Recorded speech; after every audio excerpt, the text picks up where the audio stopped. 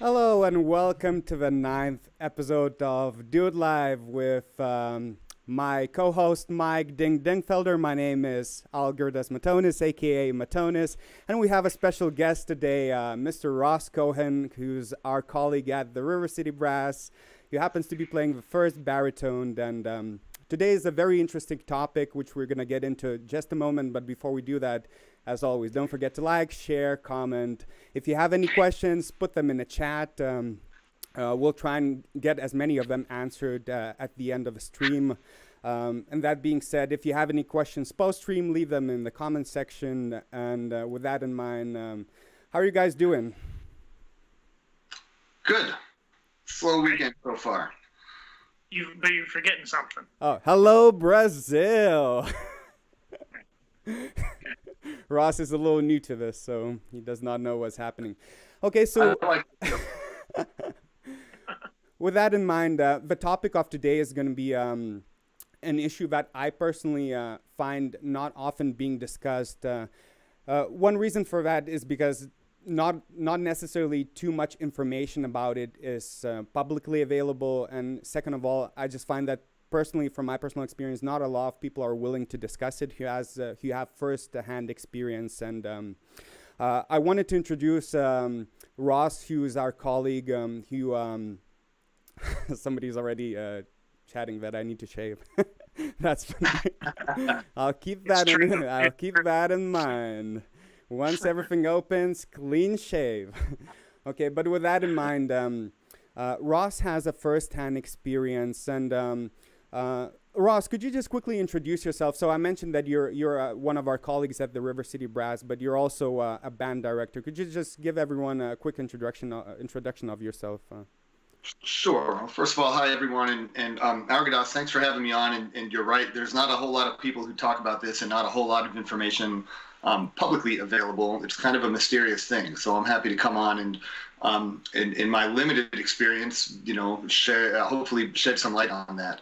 Um, but yeah, I've been in the band for, I guess this is the end of what would have been my 13th season mm-hmm. coming up. Moved to 2007. Um, went to college at Penn State for a music ed degree and then University of Georgia um, for a performance degree. And yeah, like you said, I'm also a band director. I'm a middle school band director right now, doing seventh and eighth grade band. Um, and my entire time in Pittsburgh have been teaching in some school in some capacity, uh, doing public school. So um, uh, yeah, and here I am. Yeah, and um, uh, one uh, one thing that uh, I, have received quite a few questions um, in regards to people describing issues that kind of resemble a little bit of a situation that you dealt with that we're gonna go into into detail uh, just in a moment. But uh, I also received a lot of comments. Um, on my videos uh, in uh, in regards to our baritone section constantly having different set of uh, players. So and I, I kind of wanted to avoid talking about that just because um, it's a long story. You don't want to put that in the comment section just with a couple of words.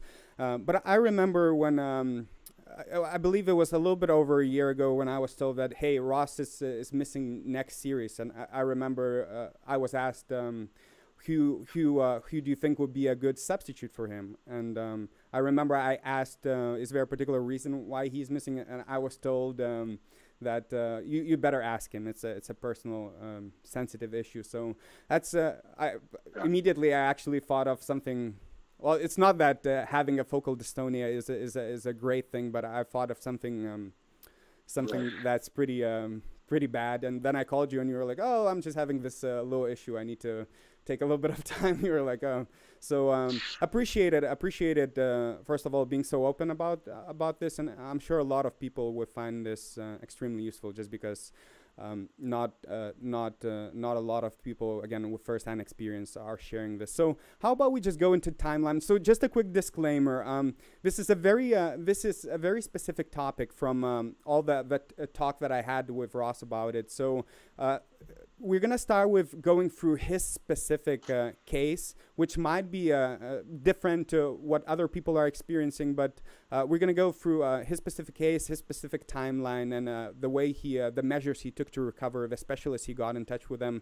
And later on, we're going to try and get a, a, little bit more in a general, speaking in, a little bit more of a general sense about the focal dystonia, and then eventually we're going to go to the questions. So if you have any questions specific to focal dystonia, we're going to give priority to those questions, but not exclusivity. And again, just a quick reminder, uh, leave your questions in the chat box. We're going to try and answer as many of them as possible. So uh, Ross, could you just uh, guide us a little bit through that timeline? How did you start noticing um, the issues? When did it when did it start happening? And uh, did you already uh, how how long it took you uh, to to realize that hey um, this is this is getting a little serious. I, I need to either take time off or get in touch with somebody. Sure. Um, uh, I'm, I'm thinking it might be more helpful if I actually start with just a definition of focal dystonia. Oh yeah, yeah, that's that's good. If you want to, then, mm-hmm. go back. So um, yeah, so um, focal dystonia, as it was defined um, to me by, and I'll throw her name out there now. Uh, Jan Kagarice is the woman, the specialist who I've been I've been recovering with. So um, my knowledge comes either from her or from you know uh, some brief Google searches. Uh, you know, as I was going through this. Um, and uh, so I'm, I'm, mostly relying on her expertise. But um, focal dystonia, or the, the medical term is actually the full medical term, task specific focal dystonia, is a, uh, a learned motor disorder or movement disorder condition, um, a neurological condition in which an involuntary action gets in the way of a voluntary action. Okay, so there's a lot to unpack there. So first of all, um, it, it's a learned disorder, right? This is not a genetic thing. This is not something I'm born with. It's not something contagious. This comes about as a result of doing a specific task, thus task spe- uh, specific dystonia. Um, in, in my case, of course, playing a brass instrument. So it's a it's a movement disorder that is um, you sort of arrive at as a result of doing this specific task. Um, and so, the, in in which uh, the, the voluntary action is disturbed by an involuntary one. So I would go to play a brass instrument, and, and I'll go over my symptoms in a minute, but there was an involuntary movement from my muscles, right, that happened always when, but only when I tried to play a brass instrument. So this doesn't affect me other than playing the instrument, right? It doesn't affect my speech, it doesn't affect eating or anything like that. It's tied to this one action. Um, and it's a neurological disorder, right? So it's not it's not a muscle problem. So this is not a matter of strengthening the muscles so that they can overcome this, or the opposite. It's not a matter of giving the muscles time to relax because they're fatigued. It's not a psychological condition, right? This is not a nervous reaction to stage fright or, or career pressures or anything like that. The problem is from uh, is is in the brain, is in the, the the motor signals that the brain sends to the muscles. Is there like a okay, specific so part of the brain? Are you aware of that? Is is it like left side, front? Uh, what do you know the part where it happens? Or this? Kind of. Uh, I don't know about left or right. That's a good question. But there are, and, and I'll, I'll get into this later in some of the retraining. In in in part of the solution to this is addressing which part of the brain these um, the signals are sent from, in which neurological pathways they go through to get to the muscles. But again, the problem is is in the message sent from the brain. Um, and basically, what happens is whatever task you're doing. This is not specific to musicians, but that's of course where you know I I know it of. But basically, in in doing an action in some kind of inefficient way for such a long period of time, or suddenly put into some kind of overly stressful situation, right? That kind of puts enough stress on it that your brain says, uh, we can't do this anymore. And so it starts sending these these errant signals, right? And it, it, we, we won't do that. And so while your conscious mind wants to do one thing, do this action that you've known how to do for however long, right? 25, 30 years, whatever the case is, your brain is sending a conflicting signal that says, no, we're, we're not going to do that. Um, and uh, and so I would assume I would assume um, the uh, the the symptoms of that can be uh, can be different from person to person. So somebody by, might be experiencing tremors, somebody might be experiencing uh, different symptoms. Is that a correct assumption on my end? Yes. So I mean, there are some common ones, but yeah, um, uh, different people would would see different uh, symptoms. So it could be tremors. It could be your whole head shaking. It could be um, the there's sort of a, a, a pause or a delay when you go to exhale and you kind of you freeze before you go to play. Um, and in my case, so I'll tell you what mine was, and then I'll go back and, and then I'll, I'll go through the timeline and what my my perception was. Um, what my symptoms were is anytime I went to play, my corners, the corners of my embouchure, pulled way back into like a pretty significant, like a smile formation. Along with that, my bottom lip curled way under. Yeah, what's and un- yeah, unbeknownst to me until until Jan eventually revealed this to me, my tongue in my mouth also was coming up or, or doing something. Were, which I you were not noticing this, is that correct? You, you were not aware of that? Uh, of my tongue, I wasn't. Of some of the other symptoms, not not quite. But in any event, you could imagine, you know, every time I went to play my horn, um, it, this was my embouchure. So my bottom lip was not involved. So you can imagine that's not going to create a really um, great sound. Yeah. Uh, one sort of interesting characteristic of dystonia, which I understand is very common, is that um, the, these problems occur only in a specific range of the instrument, and it's usually right in the cash register. So for me, it was playing a low B flat to a tuning note B flat. A middle school band B flat concert scale was that that was where I was having all of these problems making a sound. I could play way above the staff just as well as I always had, if not better, as I kind of revisited fundamentals. I could play way below the staff, but to just play a, a, a, a eighth grade band tuning note concert F, boy, that was a struggle. So, Um, so, but and, and, uh, with all fairness, I'll, I'll be honest. Uh, when they when they told me, I was a little bit surprised uh, because I was not spotting, because we sit we sit one seat away, and I, I'm curious. Uh, I'm I'm gonna ask Mike in just a moment, but my experience. I thought that when they when they when you told me that hey I'm having this problem, I thought that that's something like very very minor where you um, it might be a little concerned. So I'm I'm just skipping one series because I could never spot. I, I could hear you play, but I could never spot any any stuff that you were describing. I'm curious, Yeah. Mike. Mike, just have you have you ever have you been able to spot uh, like anything uh, uh, in that sense, or because you sit you sit next to. Yeah, I, it, no, I, I, I couldn't notice.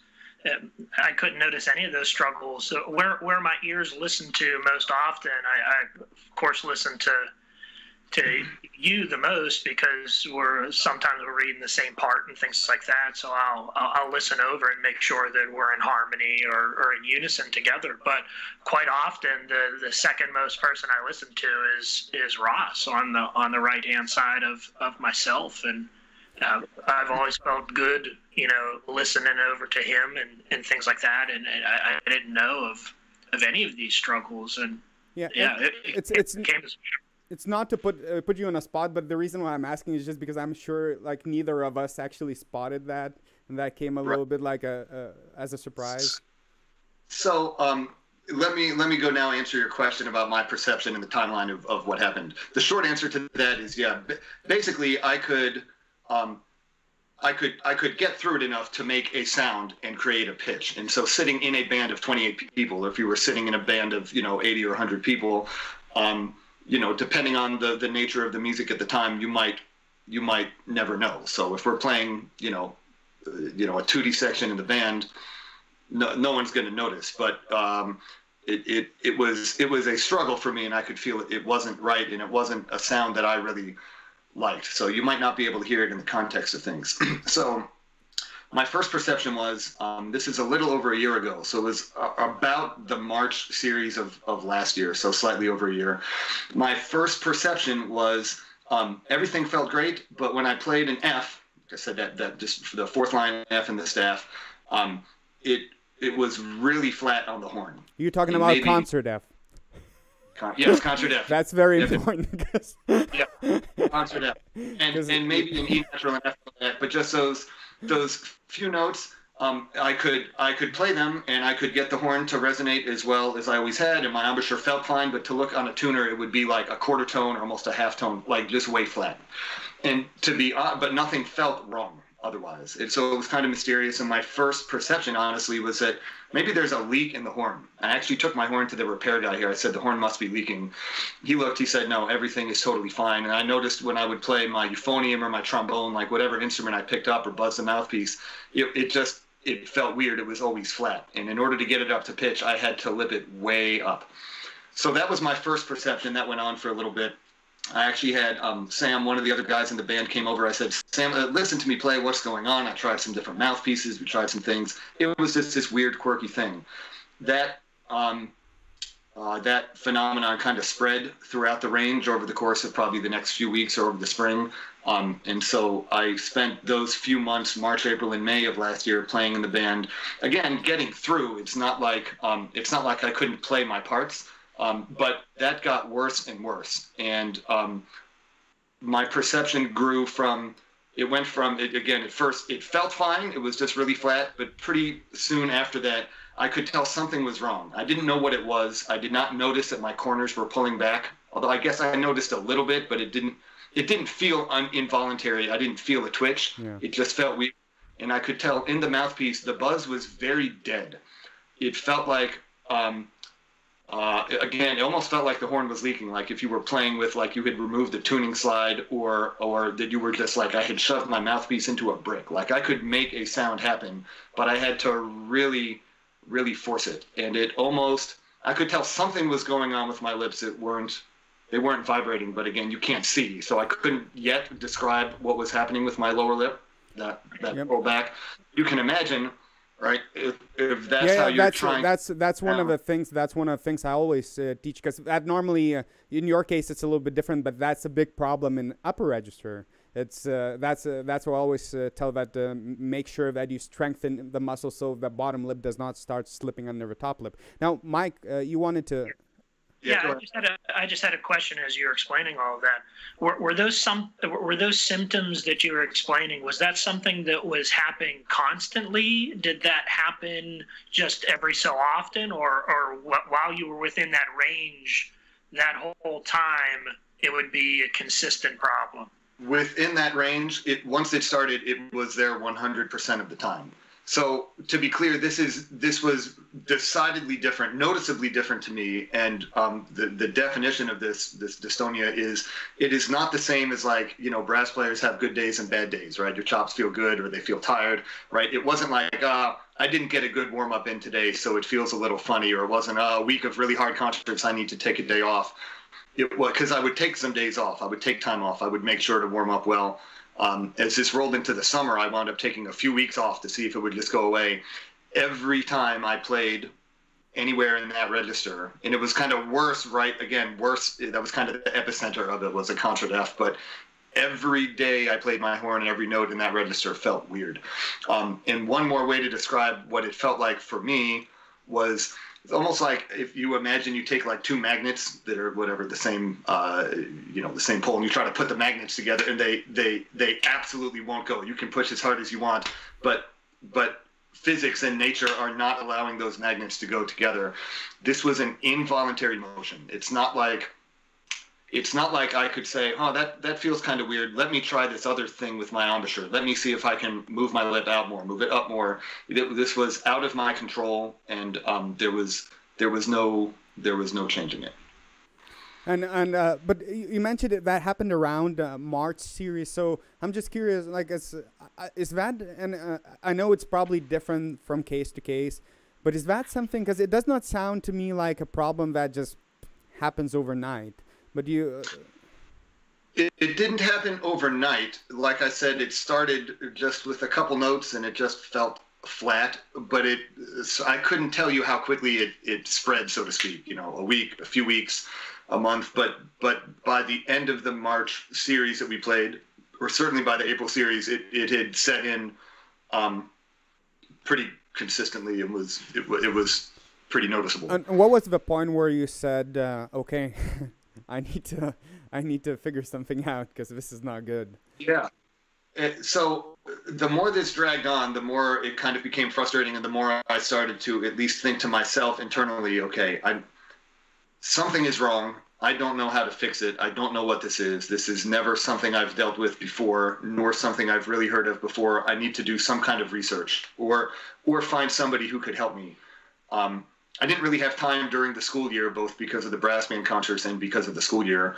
Um, and then I, I, wound up with one more concert engagement at the end of June um, that I was preparing for that probably delayed my uh, my help a little bit. But it's somewhere in there, uh, you know, and. Uh, I, I had heard of focal dystonia and I knew it was a thing that could either end careers. I also knew that there were people who had it and recovered from it, but I knew it was it was a significant problem that I didn't want to have. But I started googling it, and at some point I said, "Is this focal dystonia?" And I tried to look up symptoms.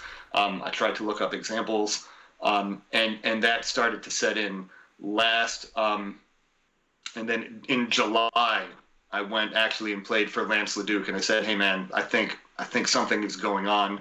And he said, "Yeah, probably something's going on." And he was the one who pointed me in the direction of Jan Kagarice, um, who I had I had heard of before. I had never met her before. I didn't know anything about her teaching, but I knew that um, she was known as um, probably, and this has been confirmed, probably the world expert on how to treat focal dystonia, at least for brass musicians.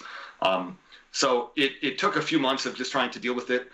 Um, it also, you know, when I had more time after the season and I was just home all day, could practice, I really kind of revisited fundamentals. And I think this is pretty common for all of us. If we have problems, we go, you know, we go back to playing Schlossberg and Arban's, and we go back to doing, you know, the things that, that, that we know how to do. Um, and it, this was the ironic thing. And in revisiting all of those things again, my high range felt great. My low range felt great. I would take out the Rochut book or with you know some kind of lyrical etudes. I would play them up an octave. I would play them down an octave. Sounded great. Felt better than ever. Playing them as written in the staff was it was it felt like dragging bricks along the ground. I mean, this just was not going to go. Um, and so eventually, I said, "All right, this is this is this could be dystonia." It it it was difficult to find information online. There isn't a lot of it. In Algirdas, you were exactly right at the beginning. And so thanks again for offering to do this. I hope this is helpful for some people. But it is, um, it's not something that a lot of people want to talk about because if you're a successful professional musician, right, your and your livelihood comes from playing in an orchestra or a professional band or whatever it is, and or from your reputation and getting booked for other gigs or teaching engagements, right? You don't want to broadcast to the world that you're having some kind of issues, right? An athlete doesn't want to tell everyone that they have, you know, shoulder problems if you're playing quarterback. You so um, I knew also that whenever people did go to to you know for their recovery, that it was often confidential, right? So I I and you know names leak out every once in a while because they choose to go public and, and say I had dystonia or I have dystonia, I have to retire. But um, I know a lot of the clients that Jan sees um, uh, I, I, don't know who they are. She has to be confidential about that, and um, for good reason. And and I understand that. The, the, downside, of course, is that if you have it, there's not a whole lot of information about it or or how to fix it. So the yeah. information was very very limited. Because I, I get I get kids, you know, sending me messages, and they describe and and you obviously you have uh you have some miles on your playing. So I guess if it, if it would make sense uh, that would happen to somebody, I would assume it probably would be something more likely to, to come for a, a, little bit of older players, or at least somebody who has some miles. I'll keep on getting uh, kids uh, who describe issues, which again, it's hard to tell whether that's a psychological thing, because uh, sometimes the symptoms I would assume are kind of they, they might have some similarities but the, sometimes the, the, way they describe it and the problem that you cannot uh, you cannot find uh, any information. And um, I know because I kind of when you were away I kind of told you a, a, little story where I, I, hit my face with a mouthpiece. It actually happened uh, November. I don't know whether I told you but man it's devastating. I could not like play play uh, for me the, the, most important it's it's a very um, it's a very uh, puts you in a very powerless uh, powerless situation where it's uh, not even like how much you practice or try uh, and um, i was just um, i could only imagine that um, dealing with this emotionally as well it's not uh, not probably the greatest obviously yeah, right. yeah. Uh, I was, I was going to ask you like what what was the psychological impact that this had on you before you started to recover? Like, what was going through your head mentally, and uh, can you de- describe what what your feelings and thoughts were? It was um, difficult, obviously, and the reality of what this might be and did turn out to be kind of slowly set in. And again, I kept it to myself for a while. As I, I, I remember actually being very hesitant to even Google the term focal dystonia because it was almost like admitting to myself that like, okay, this is this is real. Um, but uh, also from the beginning, I there were two kind of silver linings for me. One was that um, first of all, I don't have uh, my my livelihood, right? My mortgage is not dependent on the brass band income, right? I'm I'm glad to get the paychecks we get, and it's wonderful, and I'm appreciative, and it's helpful. But if in in a worst case scenario where this was um, uncurable and I could never play my instrument again, I'm still putting a roof over my head, right? My livelihood isn't going anywhere, and also I don't have um, you know, I don't have the the reputation of being, you know, the principal trumpet player of some, you know, world-renowned orchestra that has to like, oh my goodness, like people around the world expect me to be the best trumpet player, you know, ever, and now I can't even play a, a tuning note, and so I didn't have that pressure facing me, so that that was helpful for me. Um, of course, it was uh, daunting to think that maybe this, uh, you know, the, the my playing career was going to go away, or even you know, it feels weird sometimes to play in class for middle school students because things that are supposed to come out sounding really good, like um, there was still some difficulty there.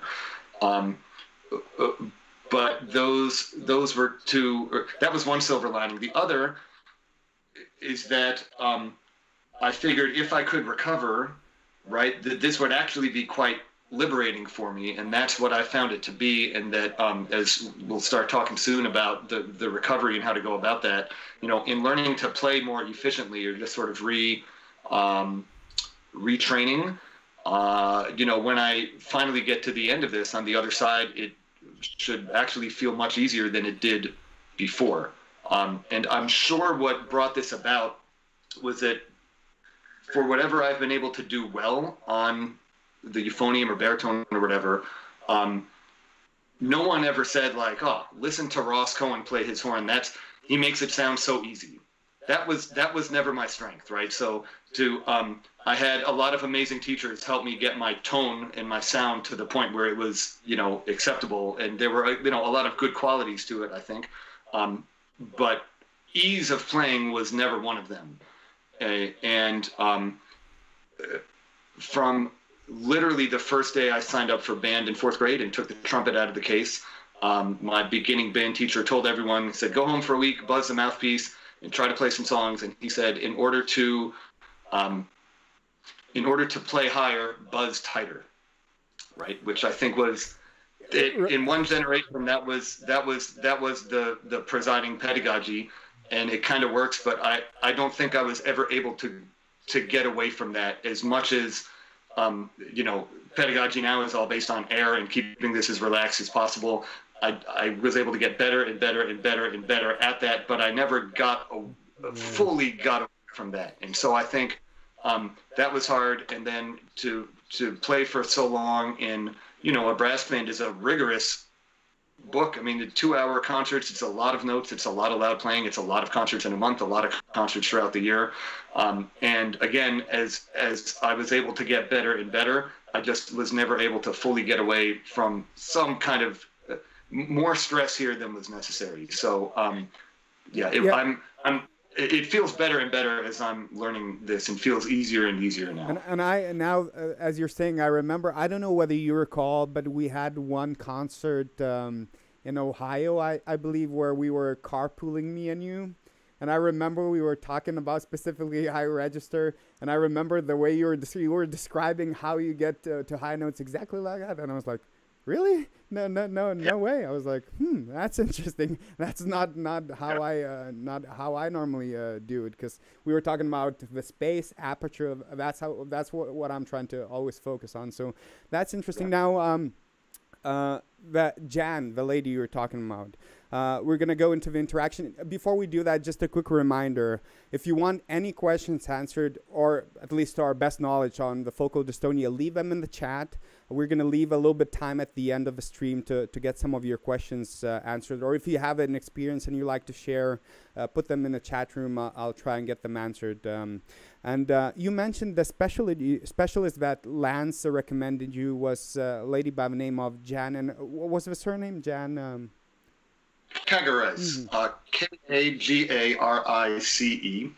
Um, and again, I had I had heard of Jan and, and, knew of her expertise in this area, but I didn't know much, uh, know anything about her her um, her training. Um, but Jan was for a long time. I don't know exactly what year. She was one of the trombone professors at the University of North Texas, um, and uh, has I don't know when she left UNT. Somewhat recently, but she now um, lives in uh, Chautauqua, New York, Western New York. Um, and uh, this is what she does now. And she sees all of her clients online. She has clients from around the world um, who uh, she never tells me names, but she'll tell you know she has a principal trumpet in some major orchestra here and principal horn you know player. So she won't tell me who they are, but these are world-renowned professionals are seeing her for advice.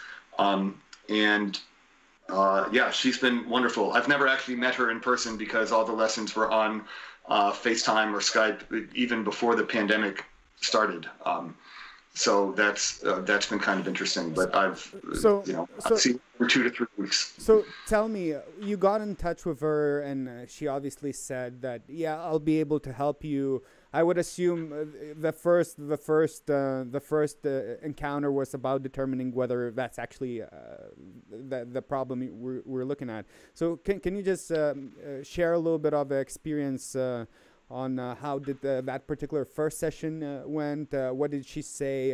what was your reaction, and what was the plan going onwards?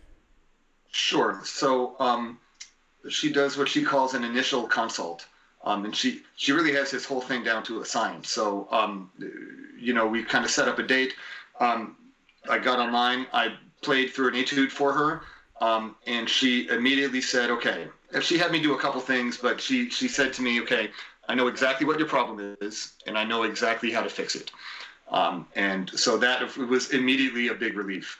Um, and then uh, I, you know, for I think her, her, clients, what she does is then kind of lay out the whole thing about what dystonia is, right? So what I described at the beginning, she basically explained uh, to me, um, and and um, kind of lays out her her broad plan for how to go forward, and then you know lessons after that are very specific for every person, uh, of course, and so everyone has different symptoms, and I'm sure she has a different game plan for everybody. Um, but that was that was the initial consult. She confirmed what the problem was. Um, for me, luckily, she said I, I, I had caught this early. Um, I was concerned I had let this go way too long, um, uh, but luckily I caught it early enough, um, and we got to work. Okay, and uh, and could you describe describe us?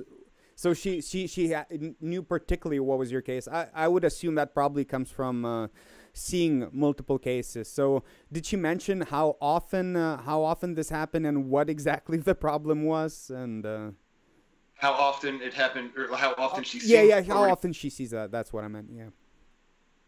Uh, you mean like how many people she sees? Yeah, no, no, no. She she obviously knew particularly uh, how, what your case was and what was happening. So uh, my assumption would be that she probably seen enough of uh, these similar type of cases uh, so I'm just curious, how how did she describe this issue, and uh, what kind of uh, uh, how often uh, how often did she prescribe uh, those meetings? What kind of exercises in particular? What kind of because um, I would assume she she gave you a very rational scientific based explanation of what is happening particular in your case the way you've been describing what's happening with your corners with your tongue that's obviously uh, something i would assume was brought brought on by by her uh, by by her noticing and, and, and, knowing what's normally happening. So can you just elaborate a little bit more on on the specifics of your case? Well, obviously you uh, elaborated what happened, but uh, in terms of what was the what was the path you you you, you both determined would be a, a good path to recovery. Yeah, sure. So um, first of all, I, I can't say enough about Jan and working with her. It's been um, very encouraging. Uh, she's um, uh, very upbeat and positive, which I think she has to be, um, given the the nature of the condition that she's trying to, to treat and the people she sees. Um, she her approach is clinical. If I had to say it in a word, it is very clinical. And you're right, Algirdas. She, uh, what I was presenting was nothing she hadn't seen before, and probably dozens, if not hundreds, of other clients. Um, so she is able to very, very meticulously approach. Uh, you know, I can see it with me, obviously, my my symptoms and attack them in, in you know a particular order in, in various ways and i'm sure she does the same for other people depending on their symptoms and their um, and their situation. So um, it, and yes her approach is and the, the language she uses and the words she uses is, is is it's scientific right? In terms of the like the neuroscience of what the brain does and her understanding of that and what the exercises um, are meant to address and how the exercises um, uh, kind of remap these signals in your brain. Um, and uh, it's just extremely clinical. It's very scientific in a way that I've never really seen any other music teacher teach. And of course, she's, you know, I'm going to her for this specific thing. So it's not like we play etudes and excerpts and she's giving me musical advice. I'm sure she's fabulous at that. But, you know, I go to her for this very um, specific thing. Um, I did, I you know, sorry, go ahead. No, I was just, I was just curious. Are, are you able to give uh, like one example of, of you're having an issue with one thing? This is one example of something that she, uh, an exercise she gave to me to help with that specific concern. Yeah. So let me let me try to explain that as best as I, I can. And first of all, I did Algirdas when you invited me on. I by coincidence, I was going to see her the next day anyway. And I asked her about this, and I said, you know, what if I go on and kind of describe this to people, you know, to the masses, what what is helpful versus what is not helpful? Um, and so I, I did kind of talk with her a little bit about what to say, and not that any of it is secretive, but if it's it's complicated because if you're not having these problems, right, it might not be helpful for you to hear like, oh, here's this other approach you could try because that could actually lead you to problems. So if what you're doing is working and you have a successful professional career or you're a successful student and you like the way you sound, then it could be, it could in fact be damaging to then suddenly try to approach the instrument I, differently. I, I would I would really struggle to imagine somebody would trying to change something if they're sounding good. I think that there's a problem. The problem I think uh, what will be a, a more um, not necessarily relevant but important thing is um, how do you determine like uh, how, how do you know whether it's nerves uh, your your uh, whether it's a psychological issue or it's a neuro because a neurological I'm not pronouncing that correct neural neuro you know what I'm saying that's what Brain. you gotta yeah yeah language yeah. barrier uh, well yeah. I mean, I, I, think I think she can see the symptoms, and again, she's seen them before, so she says, okay, that that is focal dystonia. That is, and um, she probably sees clients who she says, no, this is not dystonia. This is another thing. But um, in any event, let me let me try to sort of um, broadly lay out her her approach um, in a way that I think would be helpful in the sort of basic categories.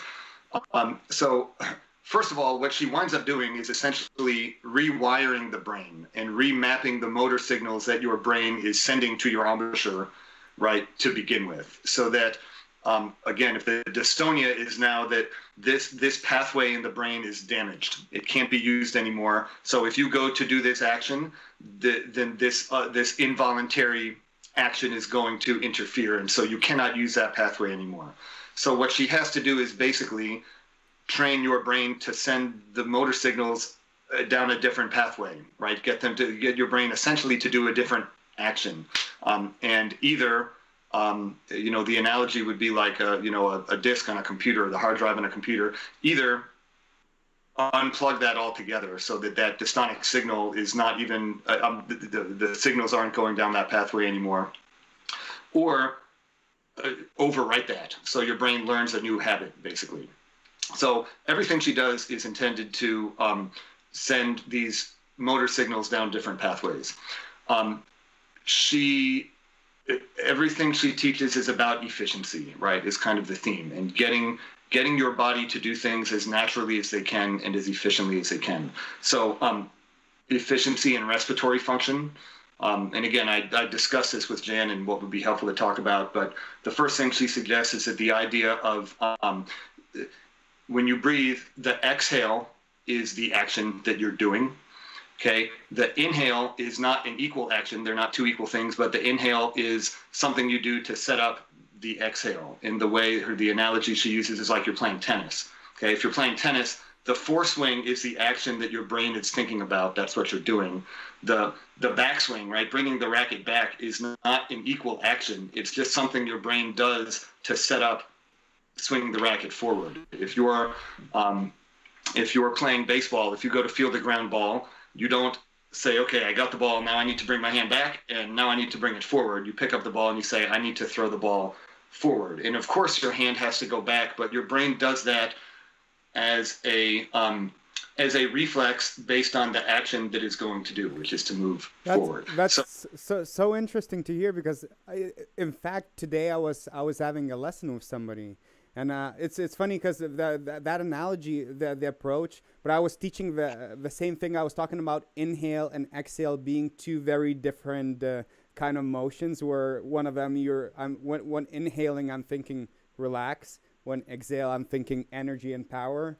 So and it's it's normally uh, the problem that happens is when people get stuck in one motion. Is either they always stay relaxed and very passive with the way they play, or very tight and and, and they struggle with breathing. So it's it's fascinating. I, I it kind of you get a little confirmation bias, but actually uh, unconsciously you you realize those things as well. It's just fascinating because yep. I've never heard an approach with. Uh, uh so I think what's what's interesting and what the, the sort of neurology behind this is first of all everything she does is very much in line with Alexander technique, which I've also been taking Alexander technique lessons, um, which in a nutshell is basically um, getting your body to move or do things uh, as efficiently as possible in as natural a way as possible. Alexander technique is about getting your brain to understand how your body wants to work in a natural way so that you don't do anything stressful or you don't do anything extra, you don't do anything unnatural. That could be breathing, that could be standing and walking, it could be sitting, it could be the act of standing up or sitting down, the act of holding the instrument.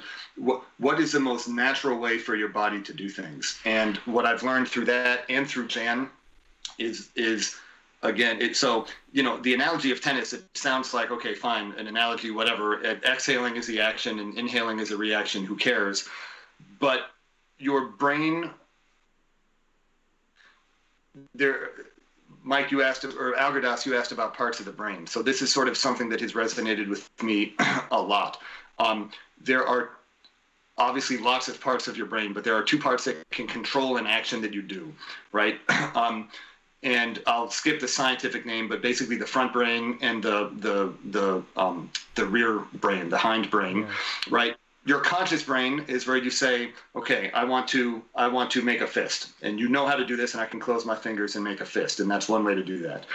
If you want to punch a punching bag, right, or punch someone, your conscious brain knows that you want your hand to go here. And meanwhile, your unconscious brain, right, or the um, there's a uh, an Alexander teacher whose name I want to make sure I get right here, um, who wrote an article and explained this. Um, Missy Vineyard Airgood right, calls this sort of that, the subconscious brain your helper, right? And there's a whole system there, and there's a whole neurological name for it. But right, this other part of your brain can subconsciously calculate things and and can also trigger motion. So I can either make a fist by saying I want to make a fist, or I can punch a punching bag, and this that helper, that part, right, as a result. The act of the act of doing something while your brain is focused on something else is a more efficient way for your brain to calculate that. And I would assume okay. I would assume that the the the uh, the conscious one, well, not the conscious, but the the the the one that is, is secondary is the rear. Is that correct? Mm-hmm. Okay. Because somebody mentioned in the chat when I asked about the, the which brain uh, side does it cause, somebody uh, started putting that behind the brain, that focal dystonia. Yeah. Behind brain. And so which sounds like okay an analogy to tennis yeah okay foreswing backswing exhale inhale what you know you can call one an action and what but that's now coming from a different part of your brain so if if you're focused on the exhale while you are inhaling, that's your rear brain is in a much more efficient way is doing the inhaling for you because it knows you want to exhale consciously. If you do that on your own, right? You of course you still have to inhale, but now it's coming from a different part of your of your brain. If you, I'm trying to think of another analogy. Analogy. If you go to open a door, right? Right. You don't as you walk as you approach the door, you don't say, okay, I need to stick out my hand about two feet and about you know three and a half feet off the ground. You say, okay, there's there's a handle to the door, and and your hand goes up. So there's um, that that is a that's a big part of this, and the language can sound like it's not making a huge difference, but in, inside your brain, it is making a big difference, and that's part of the thing that that routes the signals around that dystonic pathway. Yeah, that's interesting, and uh, and it's actually uh, for me personally, actually makes a lot of sense. Now, what I'm curious, this is obviously a neurological I cannot pronounce that word no matter what. Never mind. But you know what I mean. Issue. But the the treatment yeah. sounds like it's it's a bit of a psychological treatment because if it's about rewiring your brain, so you obviously have to refocus instead of uh, primarily putting the emphasis on the inhale. You're focusing on the exhale. So that sounds like a psychological training. The cure the cure to neurological problem is a psychological training. Is that is that the correct assumption or not? Not exactly. No, I think it, it's not psychological. Psychological would be like how, how you feel, right? Like how your emotions. But it so it, it is um, physiological, I think, but it's yeah. neurological. So um, and, and almost in an athletic way. Um, the other so and then that applies in sort of these these other um, pillars of of the recovery. So that's one of them is is breathing in an efficient way, right? And of course, if you can do that easier, it's easier on your whole body. Um, the other is, and these two kind of go hand in hand. Um, so the idea that instead of creating a buzz in the mouthpiece, instead of buzzing the mouthpiece, you are blowing through the mouthpiece into the horn, right? And the physics of the instrument being that the air in the horn, if you get, um, if, if you blow into the horn and you energize the air, uh, the air column that's in the horn, right? That starts to resonate to the bell and back, and then your lips respond to that and um, that could be opening a can of worms because I know there's you, there could be debate among yeah, yeah, you know yeah. brass players. Do you buzz the mouthpiece or do you blow through it? And as Jan explains that it's not a debate so much or different philosophies, but it's two different applications of physics. Um, and again, not to to not to promote one over the other, but if you know, I spent all of my career, like most brass players around the world, including the best brass players in the world, buzzing the mouthpiece if that's now a dystonic action for me, my brain cannot do that anymore. So I have no choice but to, instead of buzz the mouthpiece, blow through the mouthpiece and allow my lips to respond and buzz by responding to the the air resistance that's inside the horn. So they can both work. You could be, you know, a great professional doing, you know, e- either one, but if one is dystonic for you then you know you have to get the other one. And that feels more efficient to me. That feels easier that my lips my embouchure is now responding to what the air is doing in the horn yeah. rather than me something. Now and so i'm, I'm just curious because um, uh, first of all uh, and i know we kind of discussed this before streaming that um, there's certain specifics you want to avoid mentioning just not to confuse not not necessarily not to reveal anything but not to confuse people so or s- certain questions so I'm, I'm what i'm going to try and do is get as much specifics from you as possible. If at some point you feel like, uh, hey, I, am not necessarily feeling this is beneficial uh, information, uh, l- uh, let us know. But the, I'm gonna keep on pushing you because uh, I know what I kind of get a good idea of what your goals are. With with that, I need to make sure to rewire your brain. But I'm not personally getting uh, enough specifics of how to achieve that, and I'm I'm really curious curious whether it's possible to get into the, a little bit more in depth into those. But just before we do that, I saw Mike Mike smiling, and I that normally that smile I recognize that smile because it only it only comes around 40 to 50 minute mark when today it's especially uh, you know powerful and we're talking about such you know important subjects and, and things like that and, and stuff with the brain and I just get you know when when things get so serious I just get really really hungry. And I always have a snack because you know when Al throws a question out there and stuff like that, you know it's a really good question. But these questions are like excellent, and you're saying so many great things, and and it's just like even more so today. So I had to bust out my snack. But on on a lighter note, even though Al can't say the word neurological, he's actually he's actually you might not know this, Ross, but he is actually a brain specialist he has actually discovered a new muscle in the brain. It's called the willpower muscle. So you're talking to a pro here. Okay. Uh, by the way, while while you're while you're getting some uh, sugar energy for your brain to to keep on having the stream. Like it kind of looks like a brain a little bit. A little bit, but it's all sugar. It's all sugar. So don't muscle, get it confused with the brain.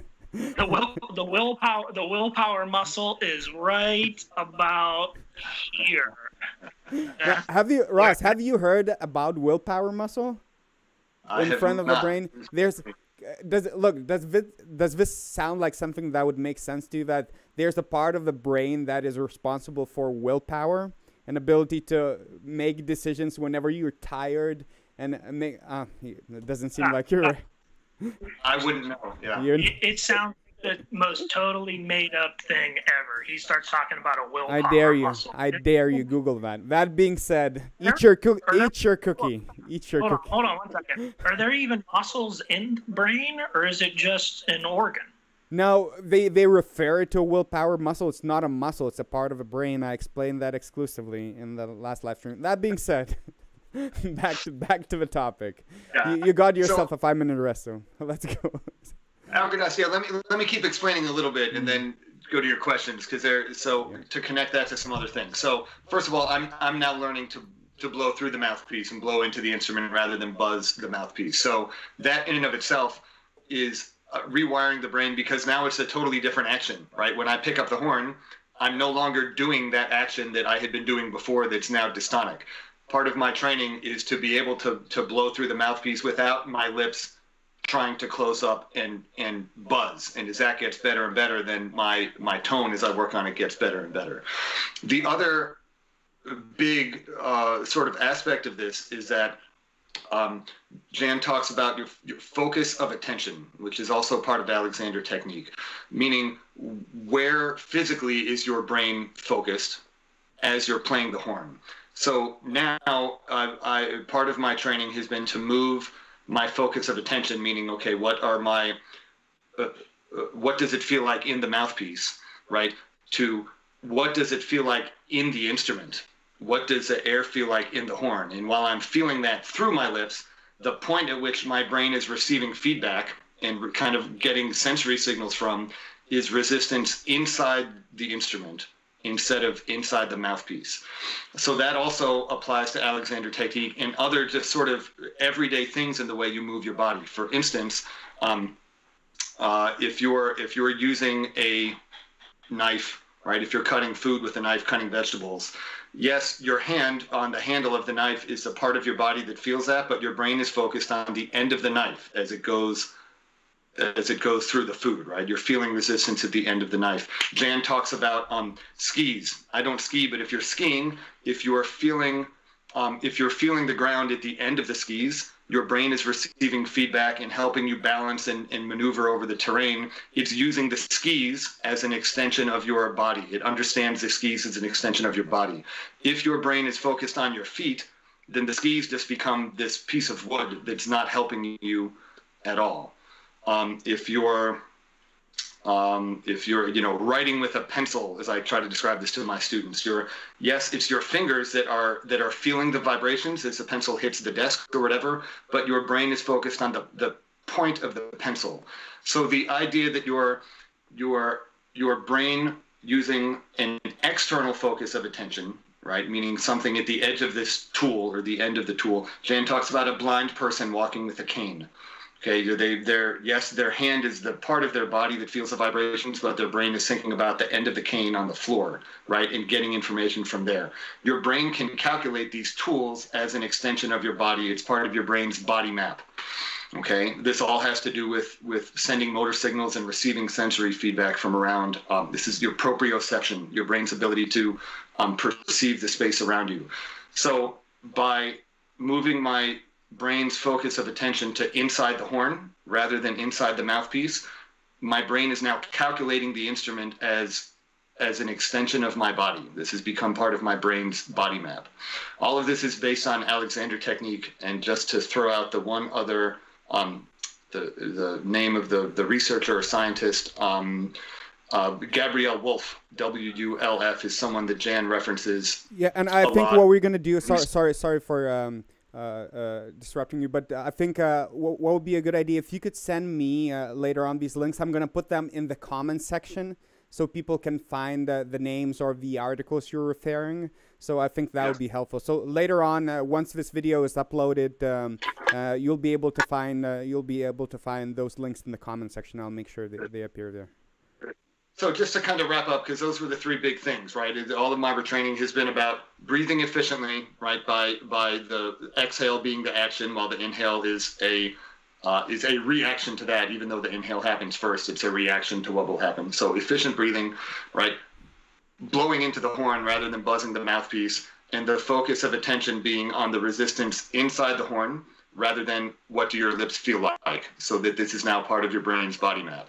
And all of that is is remapping these signals that are going to and coming from my brain. And of course, all of that then the breathing is dictated then by the phrase that you want to play. So it's not it, it's not that you're forgetting about the music at all, right? All of these actions are dictated by the phrase, but it's kind of filling in these various um, uh, motor processes that that allow the brain to then rewire basically around this dystonic signal. All right, and uh, again, now I'm gonna I'm gonna push you a little bit more into specifics. So and I, for me, a lot of it makes sense. And, and as you're saying, I'm, I'm again, I'm, I'm, I'm thinking, I'm, I'm rethinking of the way I approach it, and a lot of it is uh, something I do unconsciously as well. Because um, what you mentioned is, is it's very good, uh, and that's something I always try to encourage people to rationalize. It's just tricky rationalizing if you don't know what you're looking for. Now you're mentioning all these things you're trying to achieve, breathe more efficiently, and uh, the goal is to rewire your brain to think how do you practice that? How exactly? What exercises? How long do you practice? What What are the expectations? How do you structure? So I'm gonna uh, dig into the specifics again. If you feel like something uh, something is uh, uh counterproductive mentioning, because uh, this because uh, I assume we established that there are different cases and um, the symptoms vary, and I would assume that the the um, the path you take to cure the problem varies a little bit. But what exercises were you doing? Uh, how, I assume it's not necessarily the exercise, but the approach to the exercise that that matters a little bit more. Can you elaborate a little bit more on that? Yeah, so I can tell you a bit about what what my prescription has been, and Jan calls it a prescription. So every time I see her, she says, "Okay, go do these exercises, and I'll see you again in two or three weeks." Um, but yeah, to repeat the disclaimer that I have no idea what she's doing with other people, although I assume there's some similarities. Um, so uh, if, if, for anyone listening who thinks they have dystonia, what you should not do is say, "Oh, well, Ross Cohen said to do this, so I'm going to go do that and fix it," because I, I, have no idea how to apply these to people with various conditions. Um, but in in a nutshell, a lot of a lot of what I do involves either blowing through the mouthpiece, blowing into the lead pipe, and or blowing through a straw. Believe it or not, the straw being like a surrogate for the horn, because the the instrument being a stimulus, right? What you can't do is just hold the instrument with your mouthpiece and go, okay, try to think about this differently, because this is it's too much of a stimulus. So um, you have to establish new habits without the stimulus on some other object, and then um, again, in an extremely meticulous and clinical way, Jan has a process for, you know, do this exercise for five, you know, blow through the mouthpiece for five minutes and blow through the lead pipe and then blow through the mouthpiece and the lead pipe and sort of combining all these different things in a very, very specific pattern. Um, and and sh- I, don't always understand exactly how she's approaching things. Some of it I'm sure she deliberately doesn't tell me about until after the fact maybe but the the idea that i'm establishing new habits on a different object and then trying to transfer them to the instrument and so um, my practice time could be depending on what she is prescribing to me you know, could be, you know, anywhere from 45 minutes to an hour to do two or three times a day. Um, depending. But it's it's very very meticulous exercises. And in Algirdas, what you said is correct. It could be that sometimes I'm doing exactly the same exercise, but now I'm focused on something totally different, which is getting again establishing new habits. It could be that I'm focused on on the air going into the lead pipe. It could be that I'm focused on the air at the end of the lead pipe. It could be uh, any any number of things. It could be I'm focused on my respiratory function. Um, so it, there there there's not only the exercises that I do, but what my brain is focused on as I do that. Um, and uh, yeah, be, beyond that, I don't know how to specify more for other people because I can I know only what what my prescription is. Now you you mentioned, for example, I'm I'm gonna uh, again. Uh, uh, go into the specific ex- example you gave me, uh, blowing through a straw. So you're blowing through a straw, and are you trying to replicate, uh, remember what the what the sensation you, you was getting, and then replicate that into into the instrument, or how how is that helping you? Can you can you explain me how how that specific uh, exercise is helping you?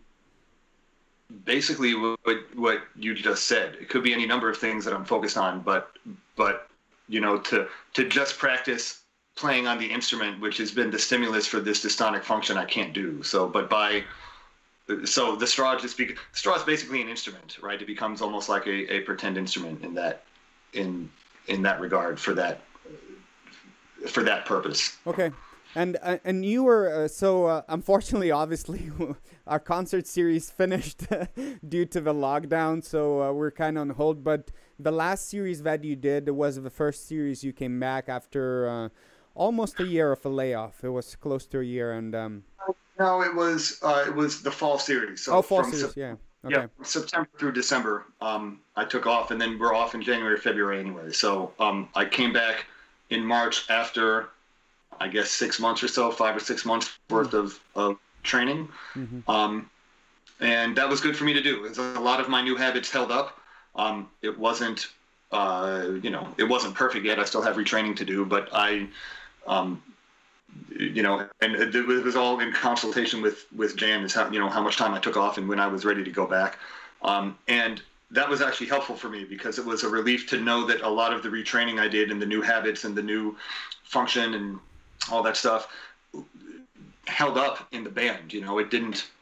Uh, I mean, I, I was pretty confident, but there was always something in the back of my head that said that could have just come unraveled. You know, at the first rehearsal, and I was back to square one. But that did not happen um, and one thing I thought was telling in terms of learning to play efficiently was that you know after taking all that time off from the band, I was I was not in what most brass players would call, you know, most of us would call brass band shape. You know, it's not like I had been playing two hours a day and doing all these concerts and blah blah blah. I was doing a lot of practicing, obviously, but not the type of playing that is involved in playing in the band.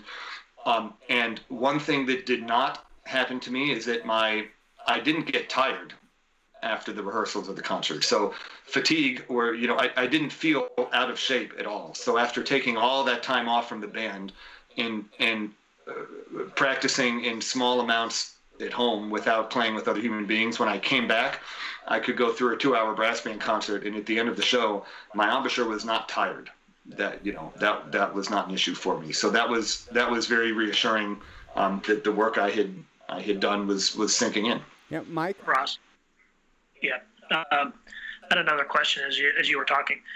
Um, whenever you were doing your recovery and you were mentioning about you know just working with your mouthpiece and and trying to do a, a redirection with uh, with uh, working on the straw, did did you find yourself through most of your recovery, especially early on, were you sort of casting the horn aside for the most part and and trying to do it through other methods with the straw or, or just the mouthpiece. I'm wondering, you know, how much time did you spend with the horn? You're, you're the, the person who was helping you seemed to make it sort of seem like the horn could cause you to get back into those same behaviors that you're trying to stop. Uh, a lot of time away from the horn, and then towards the end of your recovery, you start to add it back in, or no? The the horn has always been involved but it may not be involved in every exercise in my routine. So it's sort of like, um, and again, I just followed exactly what Jan had told me to do minute by minute, and it, it's so I might spend five minutes with just a straw or just a mouthpiece, and then another five minutes with just a lead pipe, and then transfer that to the horn and start playing on the horn. So there's, again, I, I don't pretend to understand or have her expertise in terms of how to get your brain to start to establish a habit and then transfer it to the horn, which which was a stimulus. But that's that's the gist of it. Is you have to kind of teach away and then apply to the horn, teach away and then apply to the horn.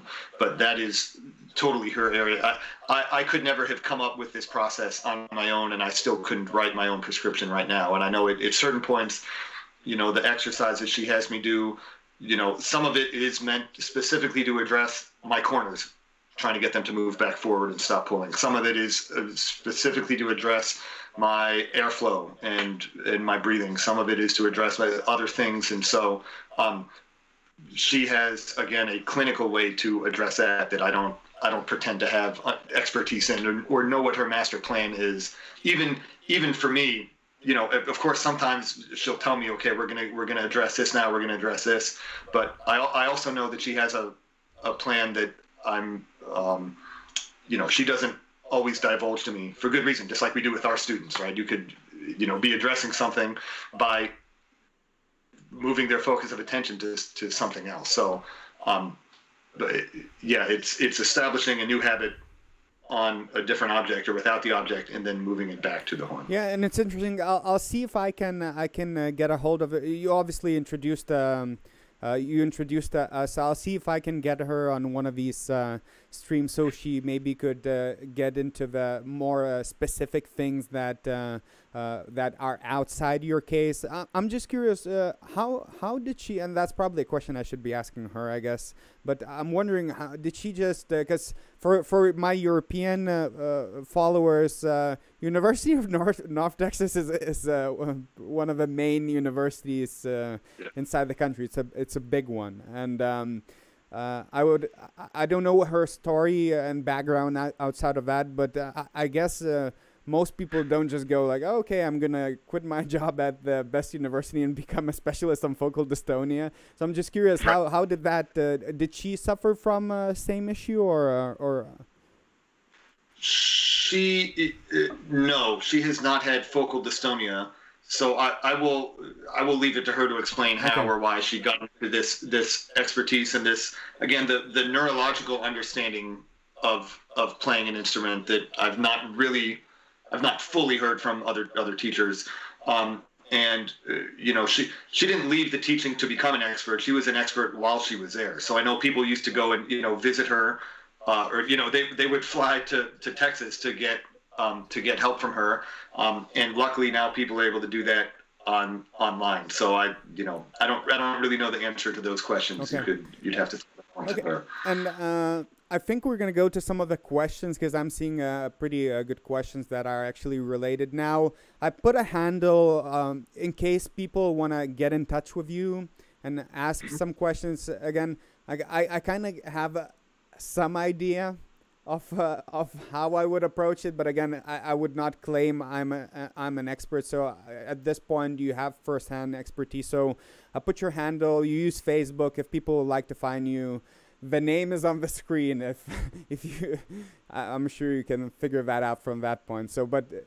Please, I'll say, please, you know, please go ahead and reach out to me. And not that I'm going to help you through retraining, um, because again, I don't, I don't pretend to have the expertise. Um, but if if you're feeling like you're having some of these symptoms and just want to ask some questions or want to know you know who to get in touch with to help, by all means send me a note and you know let's talk about it. Okay, so um, I've seen a, a, a few a few messages from a gentleman by the name of Stephen and. Um, uh, as far let me just read them through so we get a better idea uh, uh, for me it, uh, Stephen says for me I started airballing certain notes uh, the easy ones on the staff but I could still play the more difficult high and low notes And uh, as you were speaking uh, and describing your situation, he said, Yes, same pitch as me, same identical pitch.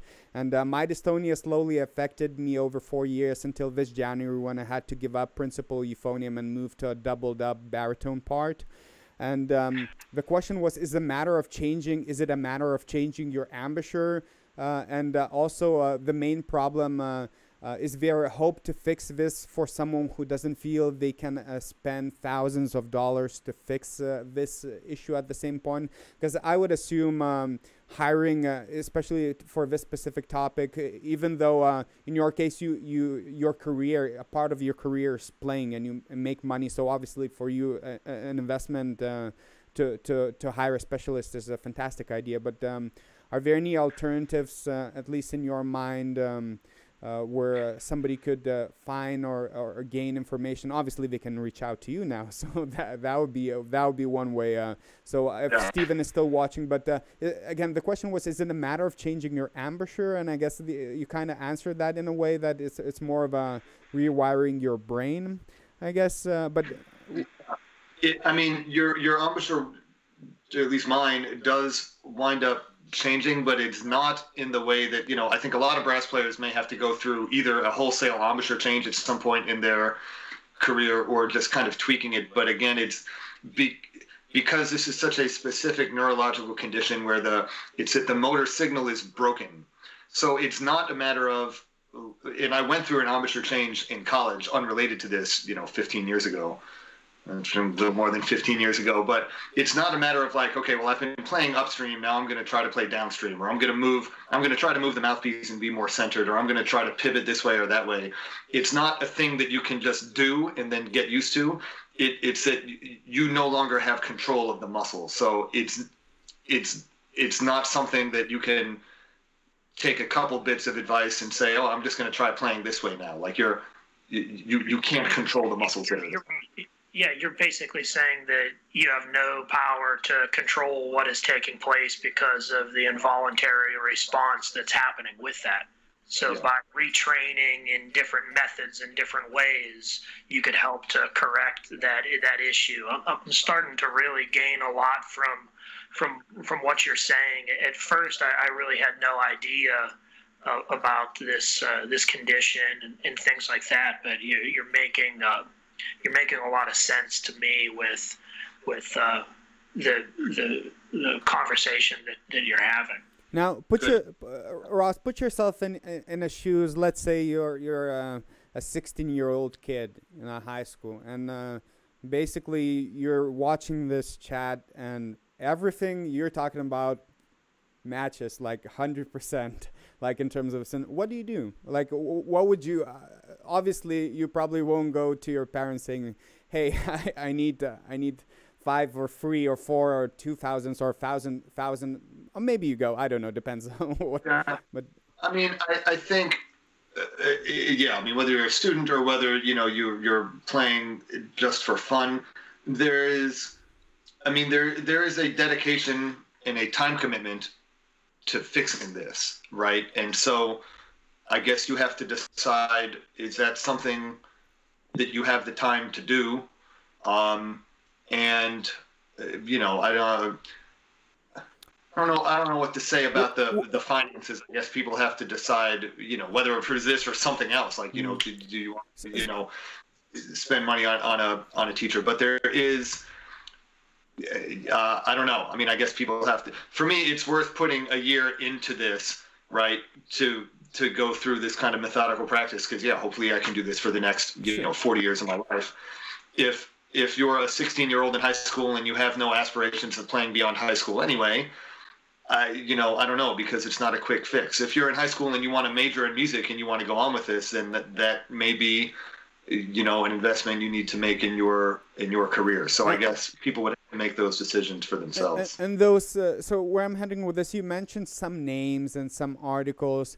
Is there information that uh, people can, uh, and uh, just not necessarily finding all the specific information, but just just a general guidelines of understanding this? And again, we're gonna link some of that.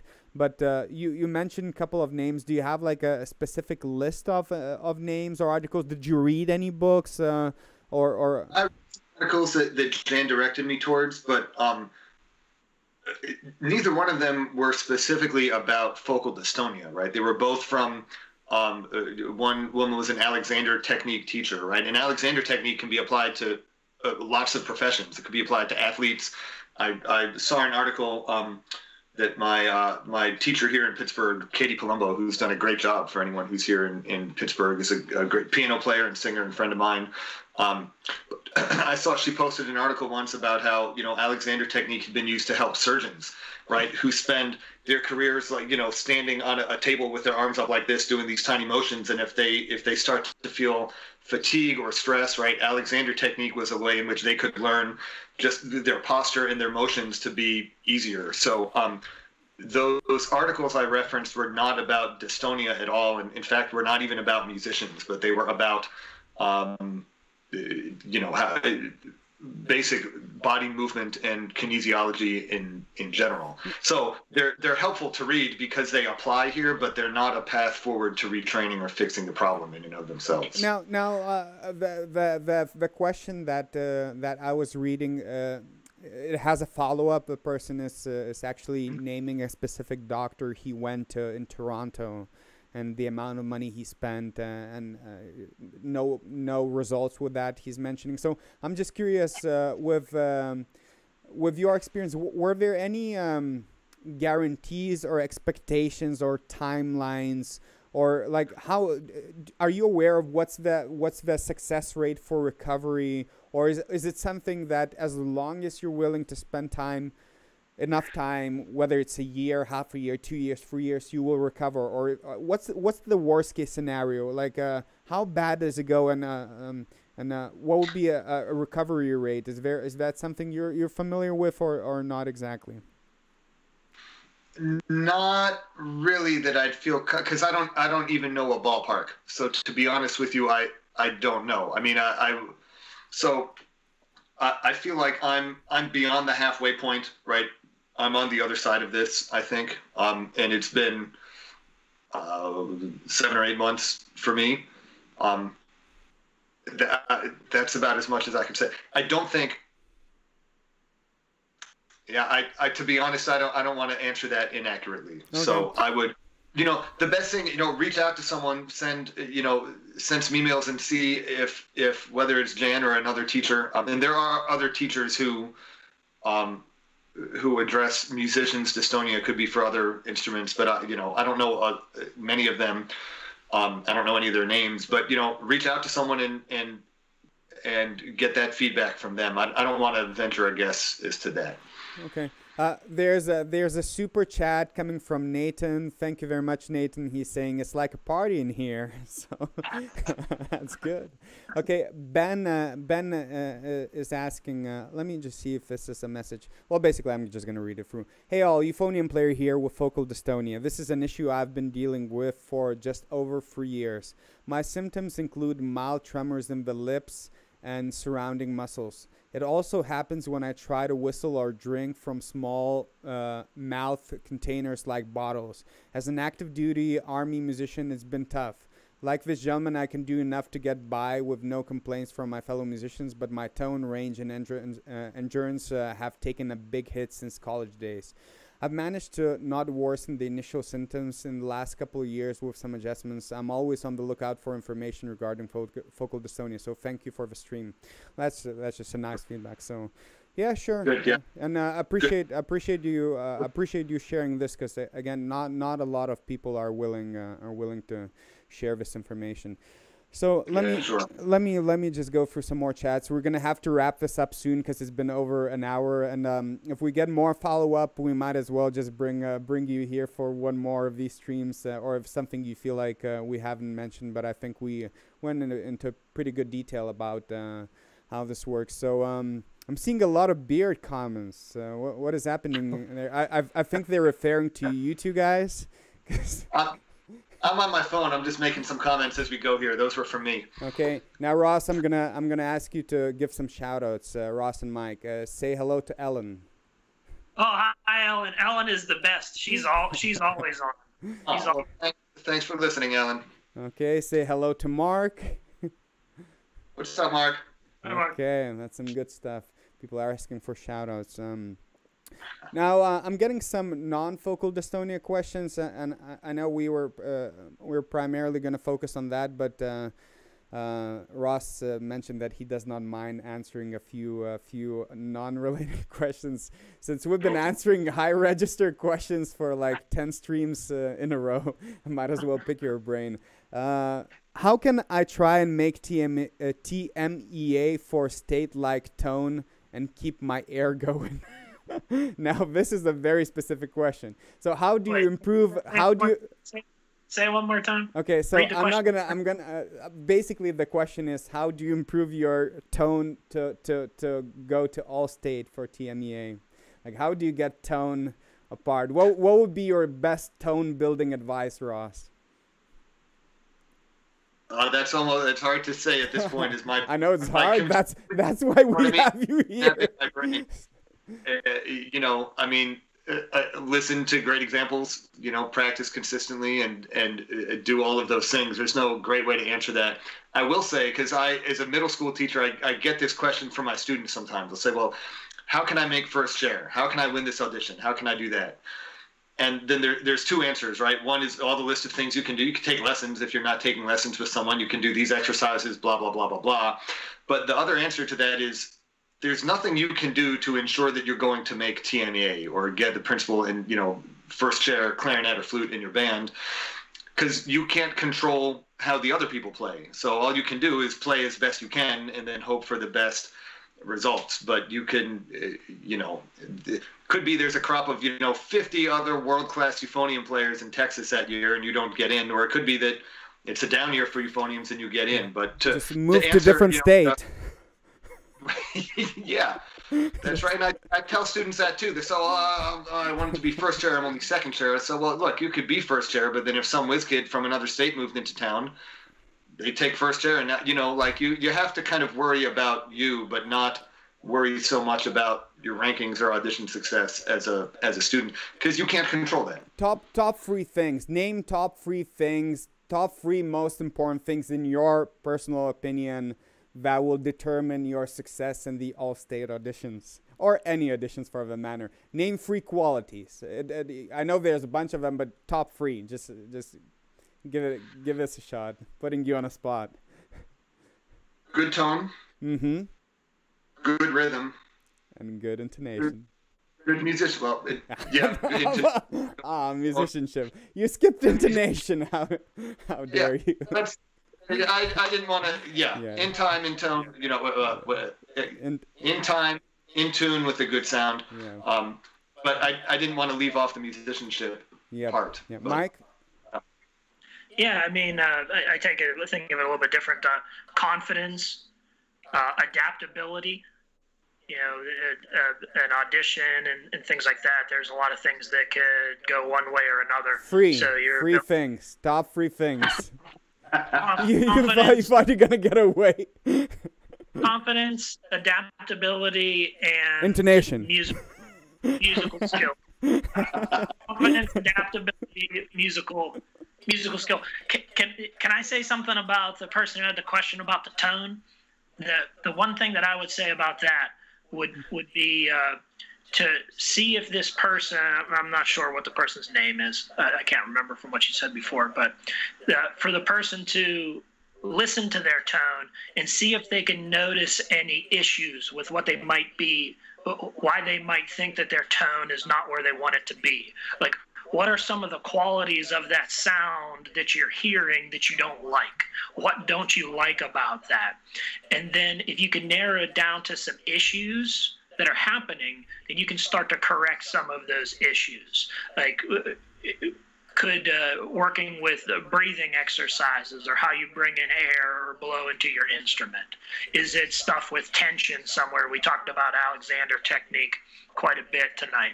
Is is there tension someplace in some of your muscles or throat or lips or something like that that are that are causing the tone to to happen? Not just how can I get a, a great tone. That that's really tough to determine. But you could determine if you're having issues with your tone, what don't you like about it? And then you can narrow it down from there with specific exercises to to get better. Okay, let's take one more one more question, which is again uh, back to the topic. W- when is it too late? Um, Mark is asking, when is it too late to fix focal dystonia? Is there any any point to where to where again, I, I don't know whether you'd be you'd be comfortable with uh, with uh, giving some uh, opinions on that. But is there a point, and what would be the point? And you mentioned that uh, you you caught this pretty early. Um, what would be? Uh, do you know what's the difference between early, middle stage, and uh, and kind of game over type of stage? Um, not specifically. I don't know if there is a game over type of stage, but I, I will say that the nature of this, or like we all know, because you know we're we're all teaching physical habits. The longer you do a particular habit, the harder it is to learn a a different habit or to replace that habit. So the sooner the better. Um, and so again, I this started to pop up for me in March of last year. I went to Jan at the uh, middle end of August and she said that I kind of caught the early stages of this. Um, I suppose people could go on for much longer, you know, hoping it's not that, or trying to get help, uh, trying to get other forms of help that that wasn't successful. So I don't, I don't know. I, hopefully, there's not a point of no return. Um, but you know, the the sooner the sooner the better. Uh, sometimes when I play, I have involuntary vocal cord engagement. Is that a form of dystonia? I don't know. I have never specifically heard of that as a symptom, but I I don't know. Um, uh, Marcus is saying it's tough to climb back. It's down to the player and determination to get back. Um, now, uh, the last question I'm going to ask you, and we're going to wrap this up. Um, if you had to judge, uh, you said you you're on the on the other half, uh, uh, meaning you're you're probably your assessment would be you're you're close to recovery. How close? Uh, also, like I don't know again if that's something uh, you're aware of, but is 100% full recovery is that is that um, something that happens, or is it always something that you'll have to at least uh, to some extent deal with? No, I, I uh, hundred percent does happen. I, I know other people who have, or I know of people who have recovered hundred percent. Um, uh, there are people who I guess have not been able to recover. I think there are people who get close. I guess it, it I, I don't know how to answer what would lead to one outcome or the other. Um, other than I guess it, at some point it depends on how much time you're willing to keep putting into this. Um, which for some people might be, might be determined by what what role this plays in your life. You know, again, if you're if you're a full-time musician in a military band or a major symphony orchestra or, or brass band or whatever the case is, like you're gonna and you're spent you're gonna do this for the next 30, 40, 50 years of your life. Like you're gonna keep scrapping until this goes away if if you feel like you're still making progress.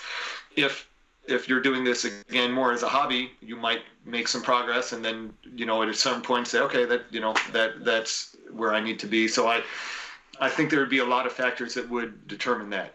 Um, uh, but the the goal, my in my expectation is is full full recovery.